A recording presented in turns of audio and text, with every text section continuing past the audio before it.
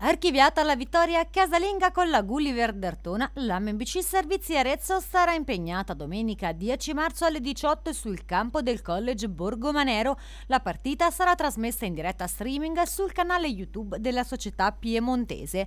Borgomanero ha chiuso la prima fase al settimo posto con 22 punti, portandosene dietro 6 per questa seconda fase, dove ha esordito con la sconfitta di misura Quarrata sabato scorso. È una delle realtà di basket giovanile attualmente più importanti del panorama cestistico italiano, nonché vice campione d'Italia nella categoria Under 19 Eccellenza.